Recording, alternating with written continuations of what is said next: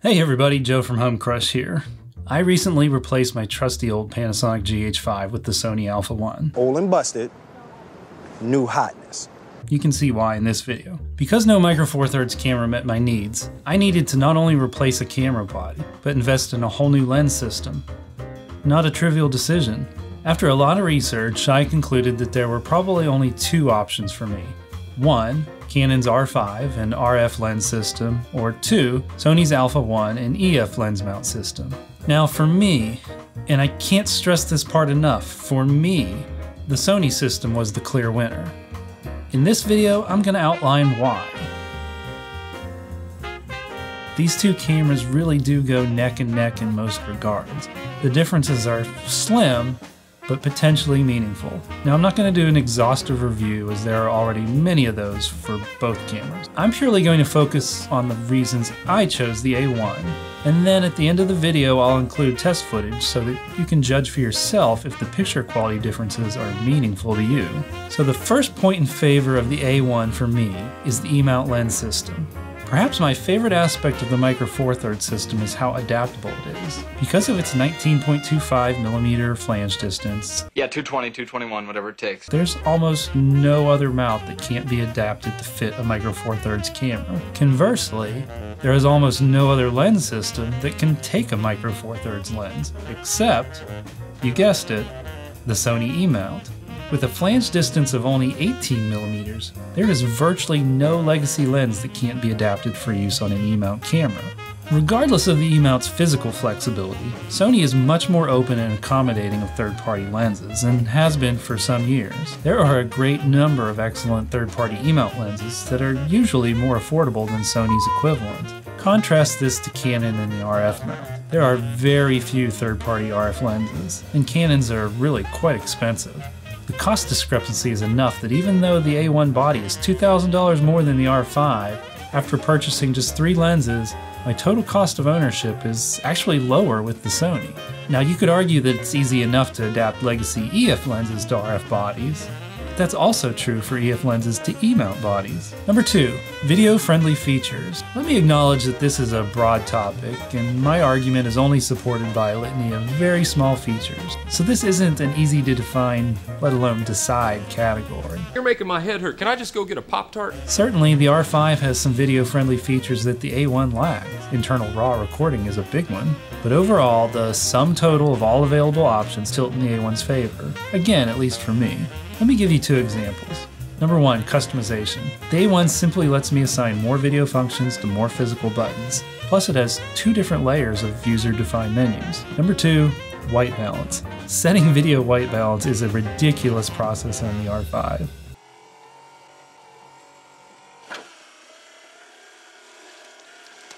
It's a good example of the microaggressions present on the R5 that signal to me that Canon only begrudgingly includes video features in its hybrid cameras. Finally, the big one for me color. Yeah, really, color. If you haven't used the newest generation of Sony cameras, this assertion probably shocks you. Sony is infamous for weird, hard to grade color science, especially sickly green skin tones, while the vast majority of people find Canon's signature orangey red push pleasing. Years. So when I say that the Sony A1 has the most accurate out of the box color I've ever tested, that means something. Is it the most pleasing color? The most natural? The most cinematic? Who the hell knows? Those are completely subjective terms people use to describe personal preference. Nobody can tell you not to like Blackmagic's brownish greens or ARRI's muted highlights. You be you. But for my part, I prefer cameras and lenses to be as transparent as possible. I don't like my tools imposing a fixed look on my work. I don't like having to switch cameras or lenses from project to project to get a different look. I like to build my own look on set and then finish it in post. Give me great art direction and a clinical lens any day over crappy production design and lighting, but some cool vintage lens. The Sony A1's color is accurate, it's balanced, and it's predictable. And not just when it's perfectly exposed. It holds extremely well when both over and underexposed. It also handles very saturated, out of gamut colors, like those from RGB LEDs, much better. Gosh, what am I saying? I prefer, in this shot, Sony's S-Log compared to Canon's C-Log. Now, the R5's color isn't bad, it's just not as accurate, and it just doesn't survive large exposure corrections as well. So those are my reasons for choosing the Alpha 1. It would be just as easy for someone else to find three reasons why the R5 is a better camera for them. But again, if you're faced with a similar purchase decision and you have similar priorities as I, then I hope this video, especially the test footage you're about to see, will prove helpful. If so, you know the drill. Like and subscribe. Okay, so here's our test scene. It's been designed to reveal a lot about a camera or lens. On the far left, we have our subject. For a typical Caucasian, the right side of their face will be a tad overexposed. For someone with darker skin, the left side of their face will be a tad underexposed. Next, we have an Edison bulb that will almost clip, but not quite, if a camera has at least 5 stops of dynamic range above middle gray. Below it are three pure, low power RGB lights. They reveal how well a camera or color science handles supersaturated colors. Above them, we have a chart that can reveal interference patterns, and then some primary and secondary color samples. In the middle, of course, we have the handy dandy color checker chart to evaluate white balance, grayscale uniformity, and overall color accuracy. A little farther to the right, we have some tertiary colors and fine details in the focus chart, yarn, and bottles. Along the bottom, we have a variety of textures to help evaluate micro contrast, including some synthetic black cloth that is also good at revealing IR pollution. Moving to the far right, we have three different blues that cameras often push. And then finally, an area of deep shadow, including dark color patches on the SpyderCheckr chart that are particularly good at revealing color noise. All three cameras are using identical settings, and all of their log images are being transformed into Rec 709 with their respective color space transforms in Resolve. YouTube compression will probably hide it fairly well, but it is obvious in the source files that camera A is the noisiest. Camera B is just a little cleaner than camera C.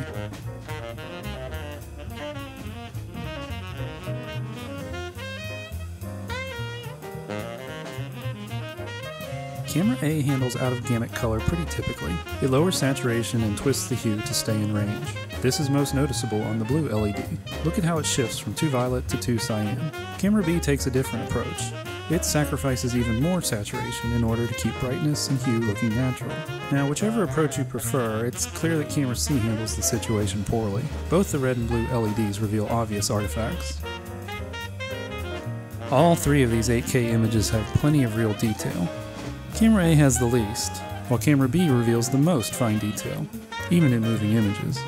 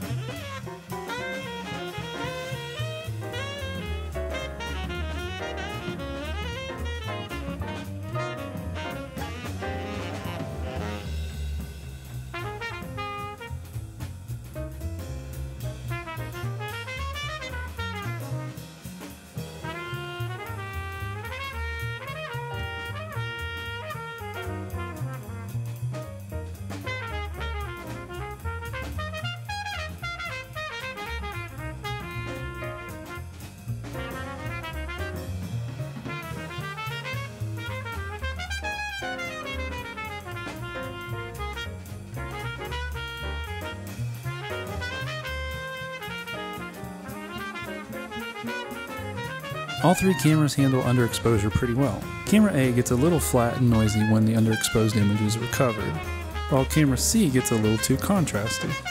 Camera B kind of rides the middle. Overexposure. Camera B is the clear winner when overexposed.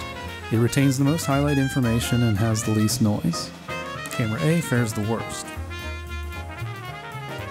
So which camera was which? Camera A is the Canon R5, recorded with the internal RAW codec. Camera B is the Sony A1, recorded with the internal H.265 codec. And camera C is the Canon R5 again, but this time recorded with the internal H.265 codec. Which did you prefer? Now, I'd be remiss if I didn't end this video with a reminder that ultimately, the best camera is the one you actually use. So get out there and crush it.